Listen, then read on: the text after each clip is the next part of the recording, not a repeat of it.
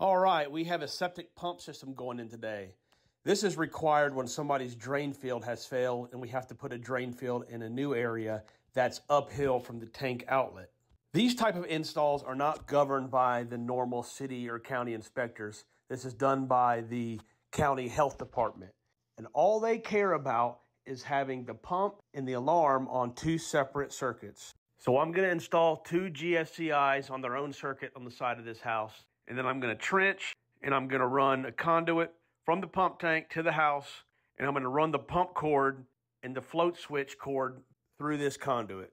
Once I get that ran through, I'm simply going to plug the pump cord into one of the outlets. I'm going to mount the alarm next to the other one, and I'm going to connect the float switch cord to that.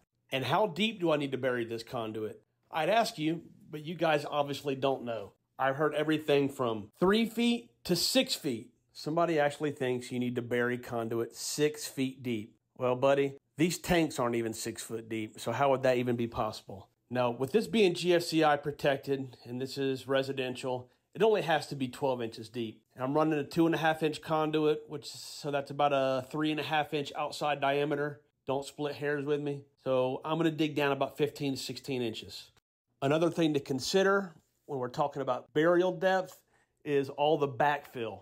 We had two 1,000 gallon tanks installed here, and all the soil that was removed is not getting hauled away it's getting put right back down where it came from and it's going to be graded out. So that's going to bring the grade up several inches at least.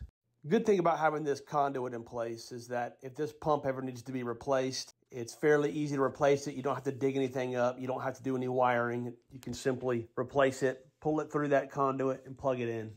That's going to wrap this one up.